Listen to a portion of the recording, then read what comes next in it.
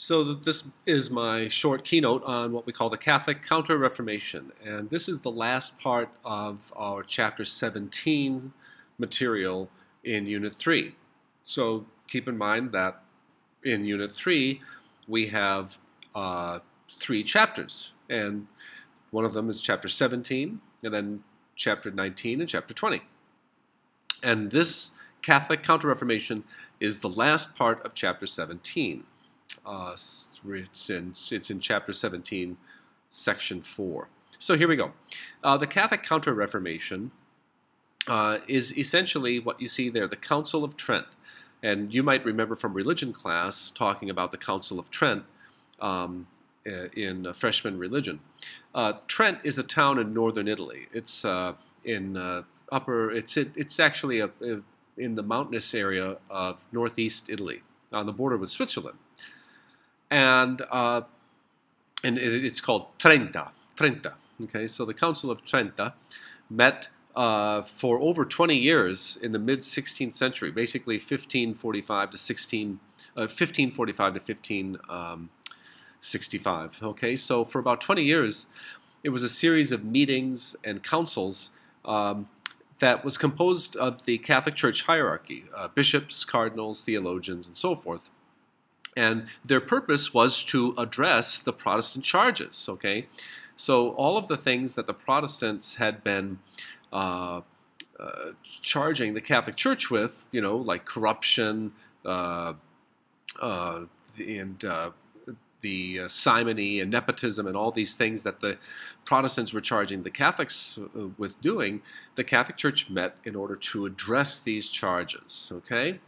Um, so basically, for instance, the Protestants were opposed to the Catholic Church's practice of selling indulgences. So one of the things that the Council of Trent uh, addressed was the sale of indulgences. Okay, so everything that the Protestants were charging the church with, or everything that was happening in Protestant Europe um, in the 16th century, was uh, uh, addressed and taken up as an issue at the Council of Trenta. Let's go to our next slide. So in the end, what did the Council of Trent accomplish? Well, um, I mentioned how the council met in order to address the charges that the Protestant churches were bringing against um, the Catholic Church. So basically, um, a, good way to think of it is anything, anything that um, the Catholic Church uh, was being charged with, uh, like the sale of indulgences and the veneration of relics and the um, obedience to the papacy. Uh, well, uh, the Council of Trent simply reaffirmed or restated the importance of these things. So, if Protestants uh, are critical of um, the uh, Catholic Church and its practice of uh, confessing sins to a priest, well, guess what? The, at the Council of Trent, um, the sacraments, especially confession, were reaffirmed. Okay, so um, some of the things that the Council of Trent accomplished are here on this slide. One, uh, the Council of Trent reasserted the role and importance of the papacy and the authority of the Pope. Uh, two, uh, the Catholic Church uh, uh, affirmed the uh, legitimacy of indulgences and uh, encouraged the continuation of the faithful uh, to uh, by indulgences. the Council of Trent reaffirmed the intercession of saints. I mentioned how the Council of Trent reaffirmed the practice of the sacraments, especially confession.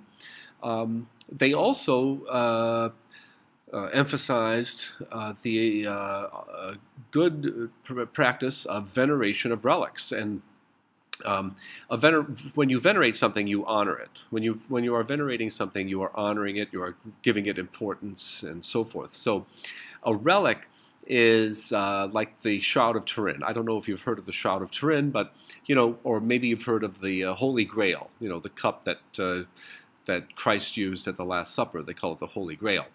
Um, a relic is uh, something very old, and it's usually connected with somebody very uh, holy, like a saint, or in some cases, Christ himself. So, for instance, um, pieces of the true cross, or like I said, the Shroud of Turin is supposedly the burial cloth of, of Jesus after he was taken down from the cross. So, the veneration of relics was a very uh, common thing in the 16th century in Western Europe, um, especially by Catholics, but the Protestants rejected all of that because they felt that when you are venerating a relic, you're misplacing your faith. It's almost like idolatry. You know, instead of um, instead of believing and worshiping God alone, you're putting your faith in like an object. So anyway, the Council of Trent reaffirmed all of these things and basically uh, upheld every Catholic practice. But two things that um, uh, were in response to uh, the Protestants' uh, ch- uh, criticisms were one, um, the Council of Trent uh, acknowledged the importance of Scripture in the creation and sustaining of church doctrine. In other words, um, the Council of Trent recognized that it needed to, the, the, the, Council of Trent recognized that the Catholic Church had to get back to the Bible. It had to get back to a good scriptural foundation. So that was one thing. And uh, the Council of Trent encouraged and created um, religious orders of men and women in the Catholic Church uh, that were dedicated to education and charitable work among the poor. And I listed three of them here.